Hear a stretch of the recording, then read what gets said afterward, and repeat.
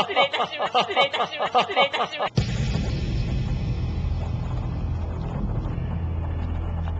今回の私に関する一連の報道によりまして、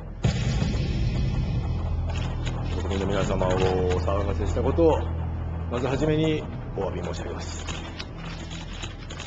今後はですね、職務をより一層全うすることによりまして、信頼の回復に努めてまいる所存でございます。